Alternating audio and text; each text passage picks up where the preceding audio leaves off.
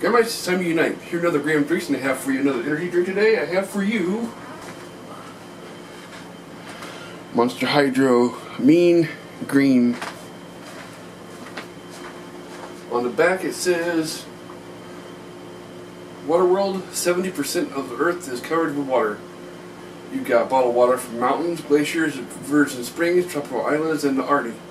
There's mineralized, fortified, ionized, electrified, pH balanced, triple flavored, triple filtered, and straight out of the city tap. What's the point? You gotta hydrate every day, so you might as well enjoy a boost while you're at it. Monster Hydro, non-carbonated, lightly sweetened with natural flavors to make it thirst quenching and easy drinking. We added just enough of that monster magic to get you fired up. This container, this container is cool too. Just don't call it water. Huh. I gotta admit, it, it does look pretty cool. It's, I don't even think it's aluminum, I think it's plastic. So let's uh, give it a try.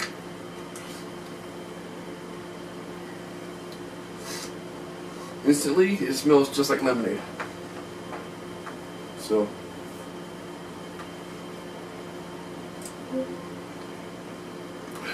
Hmm.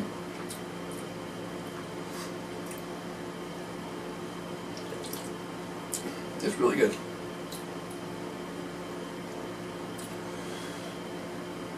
It tastes like a cross between lemonade and a watered down Mountain Dew. Or think of um, if you were to mix uh, yellow and green freezer pop. I don't know if you uh, it would be on that one, but that's what kind of tastes like to me. Yeah, definitely uh, like a darker lemonade maybe with a hint of like Mountain Dew, but that's what this it tastes like me. Anyway, as with all energy drinks, drink in moderation. Don't drink these all the time. I only drink these maybe once a week. Anyway, I give this a four out of five. I've been thinking about getting this again. Let's see you on next episode of Graham Drinks.